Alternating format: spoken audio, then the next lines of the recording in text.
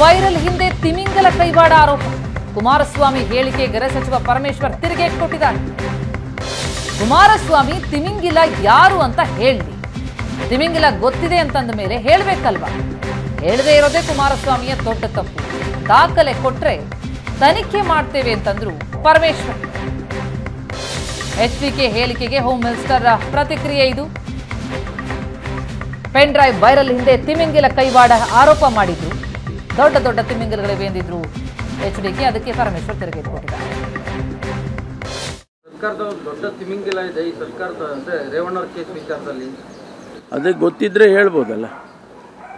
ಹೇಳಿಬಿಟ್ರೆ ಮುಗ್ದೇ ಹೋಗ್ತದೆ. ತಿಮಿಂಗ್ಲ ಯಾರು ಅಂತ ಅವರೇ ಹೇಳಿಬಿಟ್ರೆ ಇದೆಲ್ಲ ಮುಗ್ದೇ ಹೋಗುತ್ತೆ.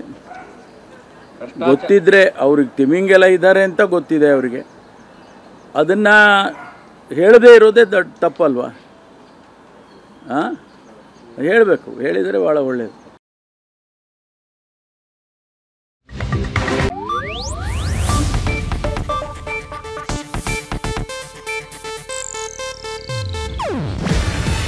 ಇದು ಏಷ್ಯಾನೆಟ್ ನ್ಯೂಸ್ ನೆಟ್ವರ್ಕ್ ಪ್ರಸ್ತುತಿ.